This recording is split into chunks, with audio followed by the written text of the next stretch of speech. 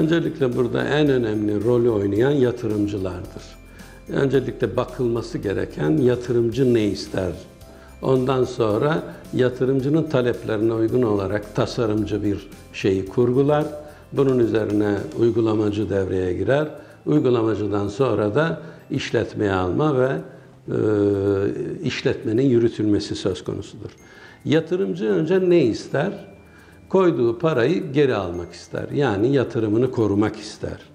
Yani sa- satmak istediği zaman kolay ve değerinde satmak, kiralamak istediği zamanda hızlı ve daha yüksek bir fiyata kiralamak ister.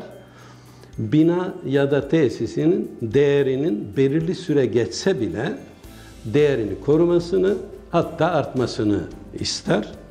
Bunun için de bu taleplerini tasarımcıya aktarır.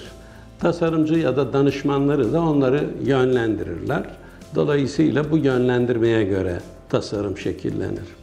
Tasarım şekillenince tabi burada tasarımcının talepleri de bu yatırımcının istekleri doğrultusunda tasarımı şekillendirirken bir kere kaçınamayacağı bir konu vardır, standartlardır. Bir standardın altında herhangi bir tasarım veyahut da yatırım aslında gerçekleşmez. Gerçekleşse bile uygun olmaz aslında budur.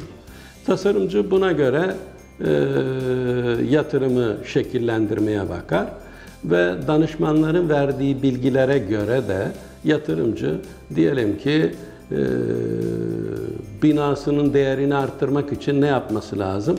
Daha az enerji kullanan bir bina yapma talebiyle karşılaşabilir. Daha az enerji kullanan bina yatırımı biraz daha fazladır.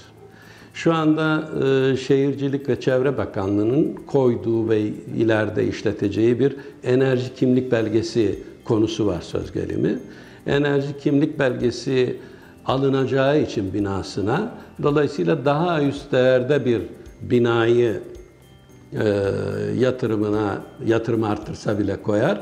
Çünkü gelecekte enerji kimlik belgesinde daha düşük bir puan almış binayı insanlar satmak, satın almak istemez. Kiralayanlar şüpheyle bakar. Bunun daha üstü ise yine yeşil binalar dediğimiz mesele. Orada hem sürdürülebilirlik gidiyor işine bir de yaşam boyu kaynakların etkin ve daha verimli kullanılması söz konusu oluyor. Dolayısıyla yatırımcı bütün bu değerleri içerisinde yatırımıyla ilgili kararları alıyor ve diğerleri de bu yatırımcının kararlarına uyarak tasarımcı da tasarımcının ne ister dediğimiz zaman yatırımcının bu taleplerini karşılarken kendine en uygun ürünü vereni ister bu tasarımı gerçekten. En hızlı dökümanı vereni ister. Bütün bunları talep eder.